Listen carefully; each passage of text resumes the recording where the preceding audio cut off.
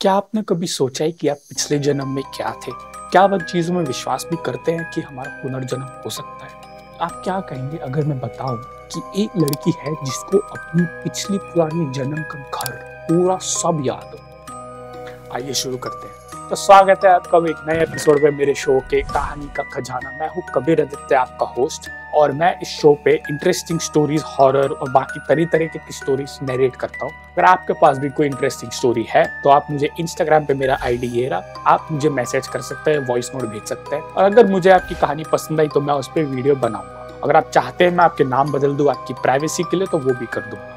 ऐसे ये कहानी है फिर से पंजाब की, जिन्होंने मुझे भेजी है। जिया नाम है उनका, मैंने नाम बदल दिया उनका। पिछले एपिसोड में जो कहानी थी, इन्हीं की थी, जो काला जादू पे, और उन्होंने ही मुझे ये कहानी बताई है, पुनर्जन्म की पास्ट लाइफ की बेसिकली तो आइए शुरू करते हैं। फिर से ये पंजाब के पिंड की कहानी है। उनका नाम है जिया। जिन्होंने पहला एपिसोड इनका नहीं देखा, जो पिछली स्टोरी वो ज़रूर देख लीजिए। वैसे कोई कनेक्शन नहीं है पर दोनों की, एक ही पर्सन की कहानी है तो मैं चाहता हूँ कि आप दोनों कहानी सुने और मज़े उठाइए। और मेरे वीडियोस को लाइक करते रहिए व्यूज़ बढ़ाते रहिए, प्यार बांटते रहिए। कहानी पे शुरू करते हैं। पिछली कहानी थी एट स्टैंडर्ड की। ये कहानी उनके और जब वो छोटी थी, बचपन में। इनको एरोप्लेन का बहुत शौक था। हाँ यार, पंजाबी है प्लेन और बाहर जाने का बहुत सबको शौक होता है। मज़ाक मत बनाओ, आगे बढ़ो। तो प्लेन उनको बहुत शौक था बचपन में, हम जैसे हम सभी को होता है। प्लेन जब भी उड़ता था, ये बाहर एकदम जो दौड़ती थी, देखती थी, अरे प्लेन देखना है प्लेन देखना है।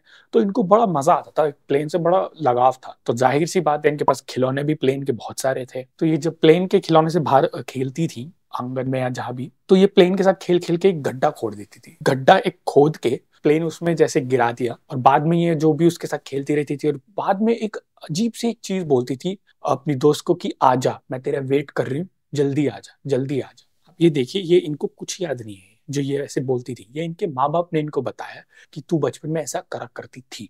और ऑब्वियसली आज भी उनको प्लेन से बहुत लगाव है। जो जब भी जाता है, उड़ता है, देखती हैं, उनको बहुत मज़ा आता है। तो बचपन में जो था ये खेलते खेलते यही बोलती थी कि, यार तू कहाँ है यार? मैं वेट कर रही तेरा तू आ जा, तू आ जा। दोस्त भी बड़े अजीब तरीके से खड़े होकर देखती थी कि क्या बोल रही है। उसकी मम्मी भी सोचती थी, बोल क्या रही है ये? तो कुछ हल्का सा और लगा, खटका, फिर इग्नोर कर दिया। फिर एक दिन इनकी मम्मी जी ने इनको एक कई जगह पे कहीं जाना था, कुछ काम से, पूरा परिवार एक जगह पे गया। वहाँ पे उतरते ही गाड़ी से ये जिया जो थी, बच्ची सी, निकलते बोलती है कि, अरे, इस गली में उधर से जाके मेरा घर है, मेरी ये लाल रंग की गाड़ी है, मेरे बॉस का बेटा हुआ है और मुझे उसको देखने जाना ये रिपीट पे बोली जा रही है बार बार आप सोचिए छोटी सी बच्ची के पास गाड़ी, घर, गली, क्या, कैसे क्यों होगा? और कह रही कि मेरा बॉस मतलब कि काम करने वाले की उम्र है तो ये बॉस, इनका अभी बचपन में क्या ही होगा? क्या काम करती होंगी? कह रही मेरे बॉस का बेटा हुआ है, मुझे उसको देखने जाना है। तो आप बताइए कि बहुत ही अजीब सी बात नहीं है ये? कि एक छोटी बच्ची बोल रही है। और इतनी छोटी थी कि ये भी नहीं कि मूवी का देख के डायलॉग देख के याद करके बोल रही बहुत मतलब आठ दस साल से भी कम भी मतलब पाँच छह साल की होगी।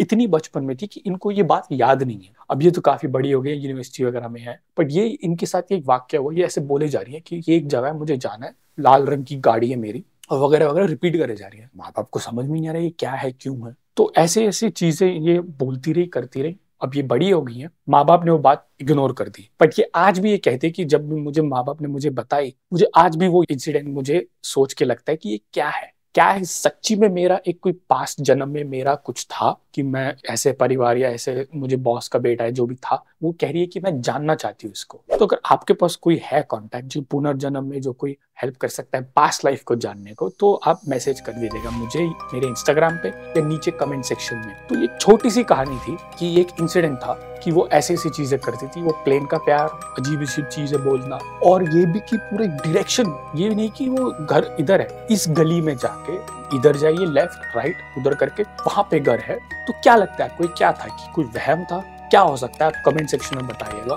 कहानी इनकी बहुत थोड़ी छोटी सी थी, पर ये बड़ी इंटरेस्टिंग सी कहानी लगी मुझे, क्योंकि मैंने कभी नहीं सुना ऐसा किसी बच्ची को भी बोलते तो मुझे बड़ी इंटरेस्टिंग लगी कहानी। अगर आपको भी कहानी इंटरेस्टिंग लगी है तो वीडियो को लाइक करना मत भूलिएगा, इस वीडियो को शेयर करना मत भूलिएगा, और मेरे चैनल को सब्सक्राइब करना मत भूलिएगा, और बेल आइकन ज़रूर दबा दीजिएगा, क्योंकि जैसे ही एक नई वीडियो आएगी, सीधा नोटिफिकेशन आप पे जाएगी। तो ठीक है, मिलते अगले एपिसोड में, तब तक के लिए स्वस्थ रहिए, व्यस्त रहिए, मस्त रहिए। Thank you once again